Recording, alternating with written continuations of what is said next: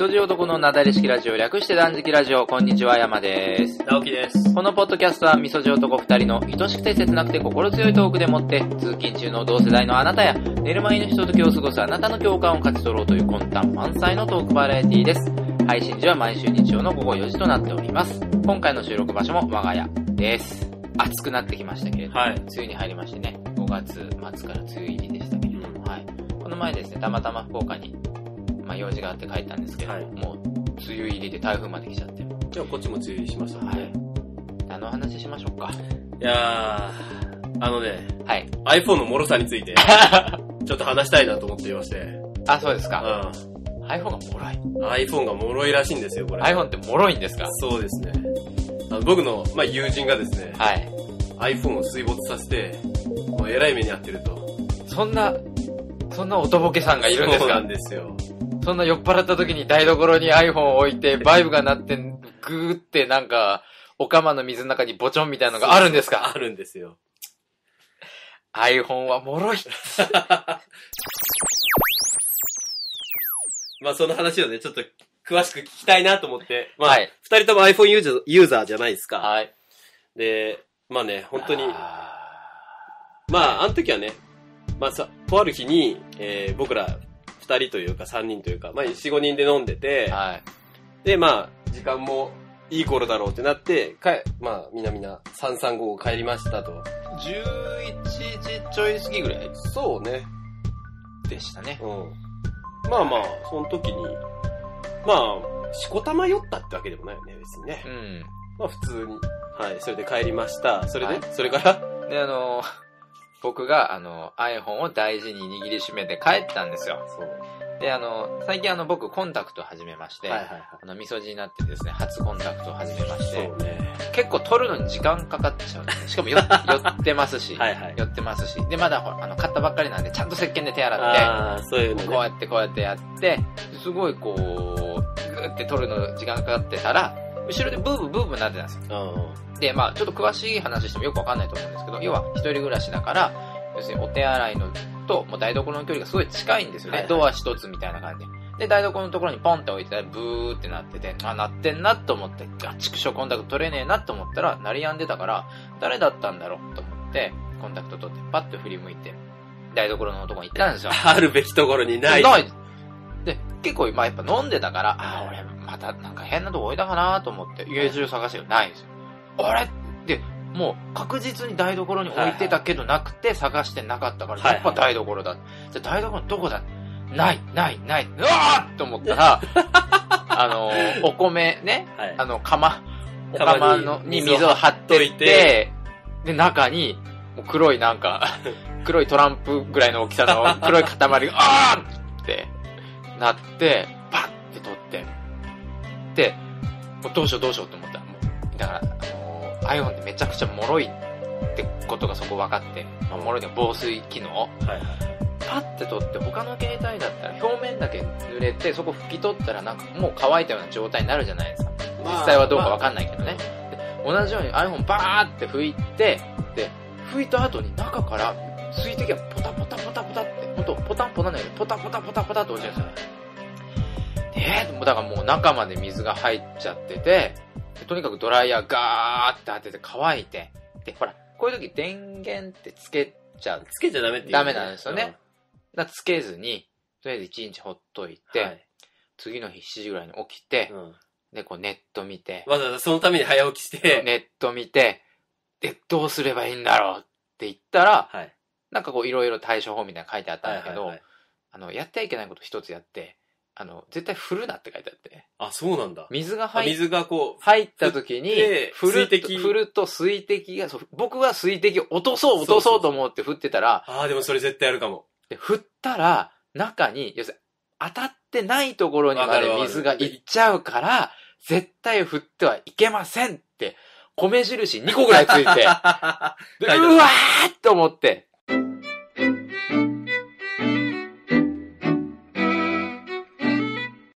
あの、最後の望みと思って、もう即その日に、渋谷にスマートっていう店があるんですよ。はいはい。iPhone とかスマートフォン修理専門店へとかあって。ーなんか普通ね、うんまあ、ソフトバンクか、はいはいはい。アップルストアに持っていくもんかなと思うけど、はいはいはいそうじゃなくて。うん昔ね、あのーたまたまツイッターのツイート見てた時に、うんうん iPhone が修理したらここがいいってつぶやきがあって、それをお気に入り入れてたんですよ。まさかそれを使う日が来るとは。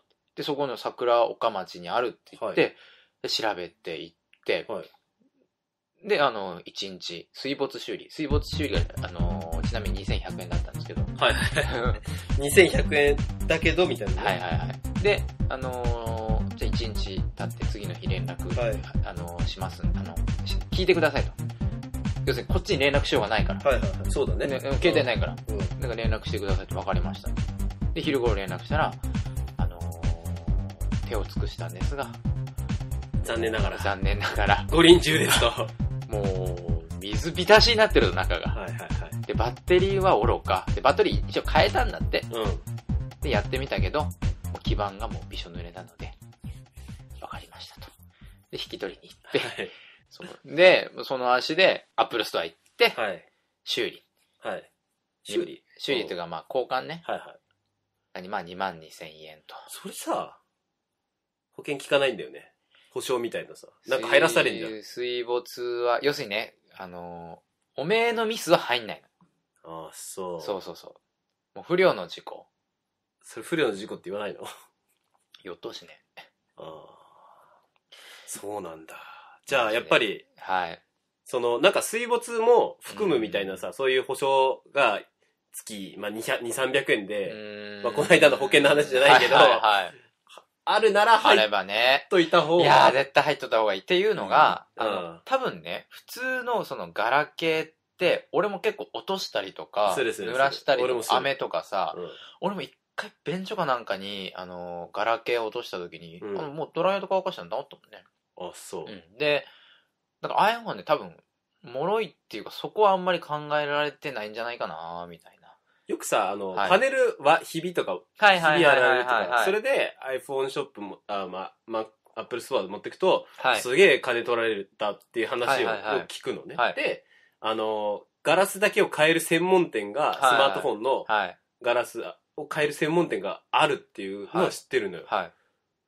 で、そういうところでも、まあ、それが、要はさっき言ったスマートだ。はいはいはいうみたいなところなわけでしょ、い。うん。そこでも、うんまあ、ダメだったと。ダメ。はい。なんかね、いろいろ見たけど、中がパッと開けて、はい。なんかバーンってブローかけて、はい。で、なんかね、海とかだったら、もっとブローかけるんだって。要するに塩分とか入ってるからはあ、はあはあはあ、なるほどね。だからなんか特殊ブローみたいなのかけて、ああで八方やったんだって。八方やった。八方やってダメだったんだって。はい。じゃあダメだと思って。ダメだ。ダメだと思って。あれ ?2 万？2000円。2000円？プラス水没周囲の2000円だから2万4000円、もう2万5000円ぐらい。新しいの買った方が早いんじゃないの？そういう問題でもないの？でね、実は、うんその、店員さんに聞いてね、はい修理ですか？それとも買い替え、新、ですね、買い替え、あうんうんうん機種変ですかって言われたの。うんうんうんで、白あるじゃん、あるね。今。うん。それとかにすれば？ただね、その、要するに上積みになるんだって、やっぱり。上積み？機種変しちゃうと。機種変して？なんか機種変するとね、ちょっと高くなるんだって。それがね、高くなるのかな ?3 万ぐらいね、高くなるんだって。3万ぐらい？トータルで？トータルで。でね。でだから今 2, 2年契約みたいなやつでしょ？そうそうそうそうそう。で、なんだろう、2年契約えっとね、えで、っとね。どうなってんの？えっとね、2年、その最初に買ったものを、うん。2年契約で、うん。ずーっと割り算して最後払い切りましたっていう今形なわけね。ね、そうとね。ころが、うん2代目からそれが効かなしいの。あ、そ一発ボンって払うことになるらしい。う。へ別件で。で、2年も払い続けるってことそうそうそう2年割も払い続けるそう。そうそうなんだ。そうそうそう。で、え、じゃあ2年経ってしまえば、まあ、いつでも変えていいような状態になれるわけ？はいはいはいはい。したら、あの、要は今まで通り、また24ヶ月で割っていくっていう、あのシステムになるから、だからあの途中でその 3G からとか、42とかさ変えるのも、そういや、でそうそう。2年経ったらうん変えた方がいい。そうそうそう。あ、そっかそっか。じゃあ、まあ俺今年の12月で多分2年。まあそのタイミングっていうのはあるかもね。うん、なるほどね。いや俺は知らなかったな。最いや、勉強になりましたね。いや、あのー、俺が勉強費払って 高い勉強費だった。る。かなり高い勉強費でしたけどね。もう、俺も福岡に帰ってさ、そうね。まあ、親事だ、親事だからいいですよ、別にそこはね。ただまあ、旅費もかかるし、ね、それにこんな、うん。わかるわかる。あのね、多分ね、10万ぐらいここ 2, あー2週間ぐらいで下手したら使ってっかもしんない、まあ俺。3万プラスう、まあ3万プラス2万と、まあ普通に生活してればね。そうね。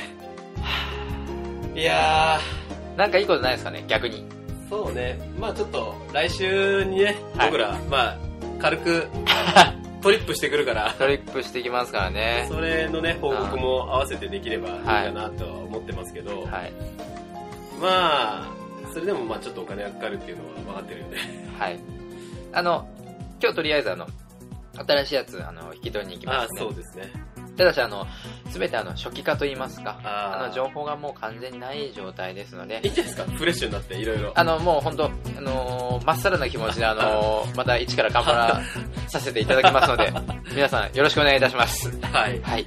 というわけでですね、えー、大和直樹がお送りした、えー、断食ラジオ、えー、終了の時間が近づいてまいりました。えー、本ポッドキャストへのご意見ご感想は、断食ラジオ at gmail.com へお送りください。断食の字は J です。Twitter でもお待ちしております。Twitter 名は、断食アンダーバーラジオです。では来週、配信は日曜の4時。またまた。